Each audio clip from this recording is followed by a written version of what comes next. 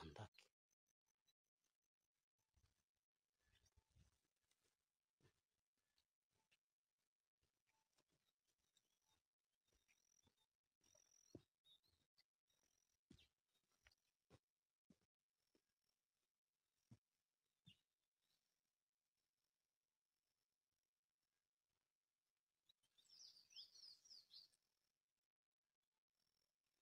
Igitondo cyiza kuri mwebwe mwese mwahisemo kubana natwe ngaha kuri yakure tv twizere ko rero mumeze neza aho mudukurikiye muherereye hose. Abadukurikiye muri mu rwanda abari muri repubulika na demokarasi ya kongo abadukurikiye muri muri uganda abari mu burundi abadukurikiye muri muri kenya tanzania abari mu bindi bihugu bitandukanye hirya no ku mugabane wa afurika abari ku mugabane wa buraya abari ku mugabane wa aziya abari ku mugabane wa amerika.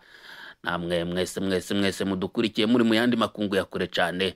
Ndabahaye kaze nanone mu biganiro n'amakuru y'aka kanya. Byifashe bite mu burasirazuba bwa repubulika na demokarasi ya kongo? Amakuru akomeye arimo kuvugwa ni inkuru yihuta cyane tugezeho ngaha kuri ya kure tv inkuru rero y'amabatayo agera kuri cumi n'umunani y'abakomando ba fardc akaba yamaze kugera muri teritwari ya masisi.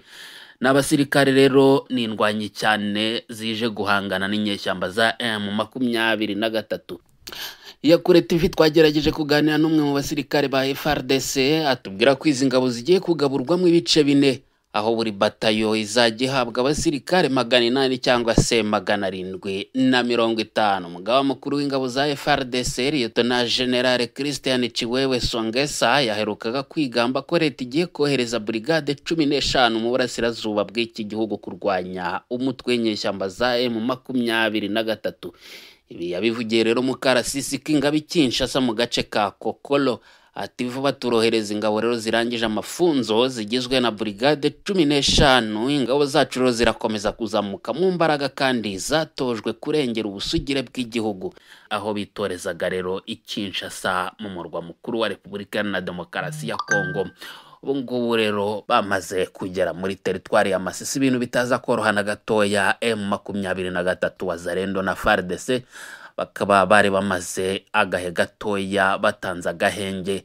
Kuri ubu rero ibintu bigomba kuba bigiye guhinduka intambara igiye kongera kubura mu burasirazuba bwa repubulika na demokarasi ya kongo muri teritwari ya masisi ku munsi w'ejo inyeshyamba z'umutwe mu makumyabiri na gatatu zaririwe zisukiranya mu bice bitandukanye bya tongo. Aho hagaragaye umurongo muremure cyane w'aba barwanyi rero.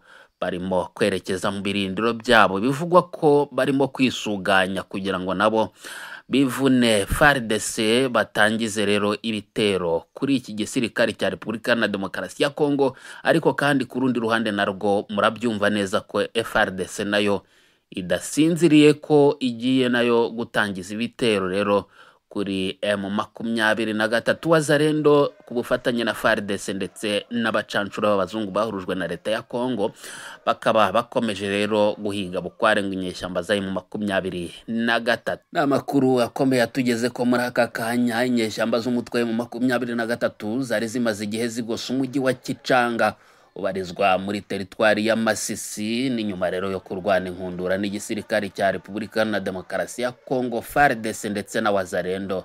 Rya huriro ry'imitwe y'inyeshyamba irwana ku ruhande rwa leta ya kongo ndetse n'abacanshuro b'abazungu bahurujwe kugira ngo barwane. Iyi ntambara frdc ihanganyemo na yo mu makumyabiri na gatatu maze ngo mu makumyabiri na gatatu rero irabakubitira abatsinsura ibirukana muri uyu mujyi.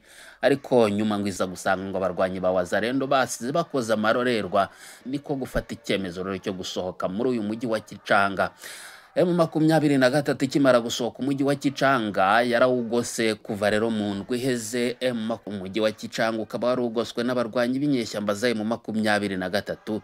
Ni naho rero leta ya kongo yahereye igira impungenge itekereza ko inyeshyamba z'umutwe mu makumyabiri na gatatu zaba zifite imigambi mibisha zirimo gupangira muri uyu mujyi wa kicanga repubulika na demokarasi ya kongo rero nyuma yo kumenya yuko inyeshyamba z'umutwe mu makumyabiri na gatatu zagose uyu mujyi wa kicanga yahisemo gukupa netiwaki maze yoherezayo ibatayo zigera kuri cumi n'umunani z'abakomando ba FRDC ngo bajye guhangana n'inyeshyamba z'umutwe mu makumyabiri na gatatu. Aba bakomando bakubutse Kinshasa mu myitozo kabuhariwe bageze muri teritwari ya Masisi ku mugoroba wo kuri uyu wa gatatu igenekerezo rya cumi n'umunani ukwezi kw'icumi umwaka w'ibihumbi bibiri na mirongo ibiri na gatatu. Biravugwa yuko rero inyeshyamba z'umutwe mu makumyabiri na gatatu na zo ziryamiye amajanja nyuma y'igihe zimaze rero zisuganya mu nkengero z'uyu mujyi wa Kicanga irwano rero rigiye kubura mu burasirazuba bwa Repubulika na Demokarasi ya Kongo. Ku munsi w'ejo haragaragaye umurongo muremure cyane w'abarwanyi ba mu makumyabiri na gatatu. N'inyuma rero y'agahenge k'agahe gatoya kari kamaze iminsi mu burasirazuba bwa Repubulika na Demokarasi ya Kongo. Mu gihe rero Repubulika na Demokarasi ya Kongo ikomeje gushyira imbere intambara nk'igisubizo ku mahoro mu burasirazuba bwa Repubulika na Demokarasi ya Kongo Wazalendo na yo iri mu myitozo karundura ngo yo guhumbahumba umutwe w'inyeshyamba za mu makumyabiri na gatatu. Ariko mu makumyabiri na gatatu ikanenga rero icyemezo cya leta ya Kongo cyo gushyira imbere intambara kuko ngo intambara irasenya ntiyubaka. Umuryango w'abibumbye wari uherutse gutangaza ko ari gututumba umwuka w'intambara hagati ya repubulika na demokarasi ya kongo n'u rwanda ushingiye rero ku ntureka zikomeje kwimonogoza hagati y'ibi bihugu byombi. Ndetse no kudashyira imbere inzira y'ibiganiro biganisha ku mahoro hagati y'ubuyobozi bw'ibihugu byombi. Mu makumyabiri na gatatu iravuga yuko leta ya kongo ikomeza kuyigabaho ibitero. Naho leta ya kongo ikavuga yuko itari mu mirwano ko ahubwo ari wazarenda irimo kurwana. N'izi nyeshyamba za emu makumyabiri na gatatu inyeshyamba ivuga yuko ziterwa inkunga n'igihugu cy'u rwanda. Mu gihe leta y'u rwanda na yo ishinja kongo gukorana n'umutwe w'inyeshyamba za fdrr urwanya ubutegetsi bwayo. Hari amakuru avuga yuko rero emu makumyabiri na gatatu igiye gucakirana igisirikare cya FARDC cyaje cyambariye urugamba. Mwakoze cyane kubana na Iyakure TV mbibutse yuko niba utarakora subscribe wamanuka hasi video ukaraba handitse iryo jambo. Ugafyonda ko waheza gufyonda ko ugafyonda no kandi kantu kaza mu ruhande rwawe rw'iburyo kameze nk'inzogera hama tukaja turabana mu makuru yacu umunsi ku wundi baguhereza notification ikumenyesha yuko hari amakuru mashasha dushize ku rubuga.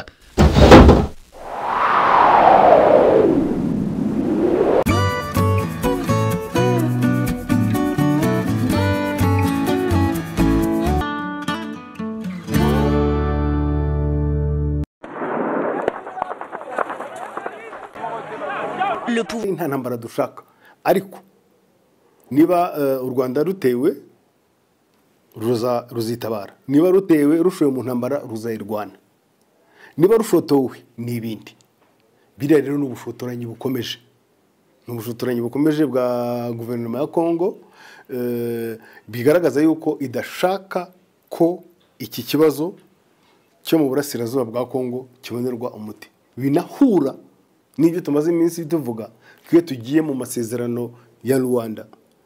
Ibyo kongo isabwa byose ntabyo yakoze. Nongere imisubiramo ntabyo yakoze ntabyo ikora. Niba rero ntabyo ikoze ikabona nta gihinduka iragerageza kongera gushotora kuko kohereza abasirikare. Bahaye ikaze nanone kuri Iyakure TV muradukurikira mwifashishije ubuhinga ngurukanabumenyi. Ku mbonesha kure ya YouTube. Twizere ko aho mudukurikiye muherereye hose mumeze neza. Hari abadukurikiye muri mu Rwanda abari muri Repubulika na Demokarasi ya Kongo. Abadukurikiye muri mu Burundi abadukurikiye muri muri Tanzania abari muri Kenya abari muri Uganda abari mu bindi bihugu bitandukanye hirya no ku mugabane wa Afurika abadukurikiye muri ku mugabane wa Buraya abadukurikiye muri ku mugabane wa Amerika abari ku mugabane wa Aziya namwe mwese mudukurikiye muri mu yandi makungu ya kure cyane. Ndabahaye kaze nanone mu biganiro n'amakuru yacu y'aka kanya.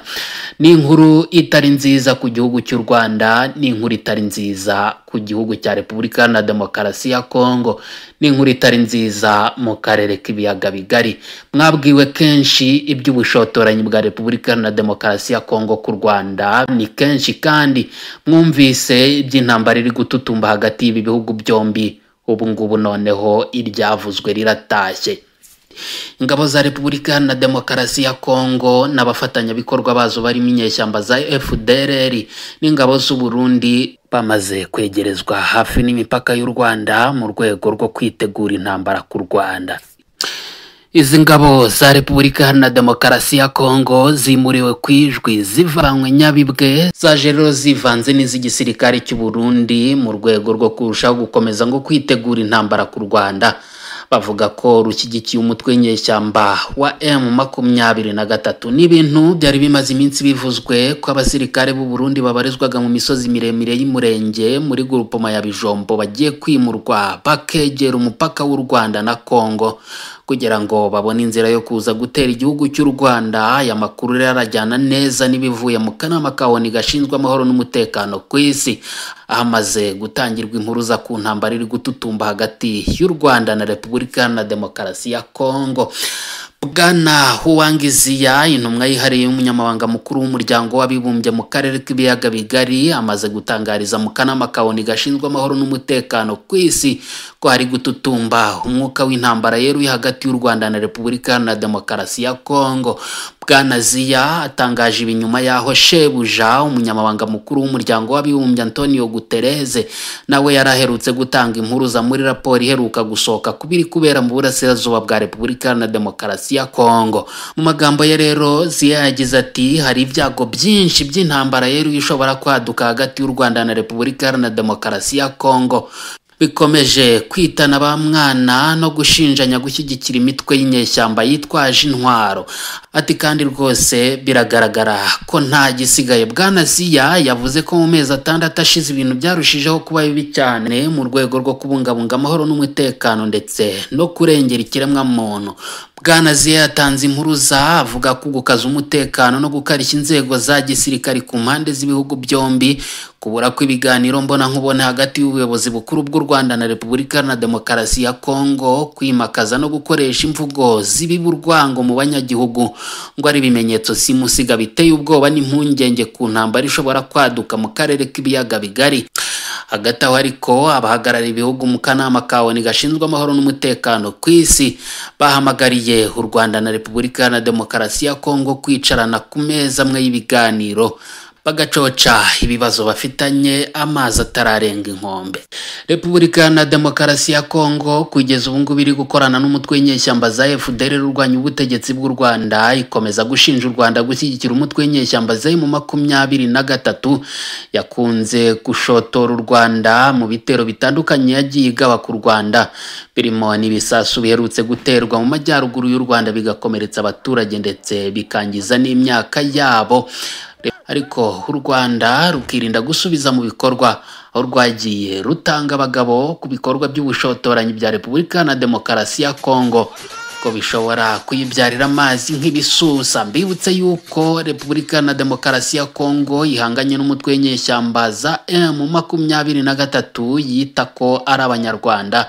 Ndetse igashinja leta y'u rwanda kuba inyuma y'ibitero bigabwa n'uyu mutwe w'inyeshyamba ukomeje kubica bigacika mu burasirazuba bwa repubulika na demokarasi ya kongo nyuma y'agahengerero k'amezi agera kuri atandatu muri uku kwezi kw'icumi ni bwo imirwano yongeye kubura mu burasirazuba bwa repubulika na demokarasi ya kongo by'umwihariko mu bice bitandukanye bya teritwari ya rucuru na masisi ndetse na za nyiragongo aho rero imitwe y'inyeshyamba yibumbiye mu cyiswe wa zarendo irwana ku ruhande rwa leta ya kongo yose rero ikaba yarihurije hamwe ngo mu rwego rwo kurwanya inyeshyamba za mu makumyabiri na gatatu. Si ibyo gusa ahubwo ngo repubulika na demokarasi ya kongo yanahuruje rero abacanshuro baje kurwanya emu makumyabiri na gatatu. Wazarendo yo rero yiganjemo abarwanyi ba fdrr yakunze kwigamba yuko igiye guhumbahumba umutwe w'inyeshyamba za mu makumyabiri na gatatu ikarwana mpaka kugera i kigali. Igakuraho ubutegetsi buriho mu rwanda. Abakurikiranira hafi bya politike bavuga yuko ibibazo by'umutekano muke biri muri repubulika na demokarasi ya kongo bishobora kuzaturika bigakwira mu karere k'ibiyaga bigari bigateza intambara ikomeye cyane muri aka karere. Hari n'abavuga yuko rero gukorana kwa repubulika na demokarasi ya kongo n'inyeshyamba za fdrr ngo bihatse ikintu gikomeye by'umwihariko yuko ngo bishobora kubyara intambara ikomeye hagati y'u rwanda na repubulika na demokarasi ya kongo kuko ngo bigaragara neza yuko repubulika na demokarasi ya kongo irimo gutegura inyeshyamba za fdr kugira ngo zitere u rwanda zifatanyije n'ingabo z'u Burundi ziri muri iki gihugu. Uburundi nabwo butabanye neza n'igihugu cy'u rwanda. Repubulika iharanira demokarasi ya kongo rero irimo kurunda intwaro ziremereye n'abasirikari sinze hafi n'imipaka y'u rwanda. Mu gihe u rwanda narwo ruryamiye amajanja rwiteguye kwivuna umwanzi uwo ari we wese wahirahira kuvogera imipaka yarwo.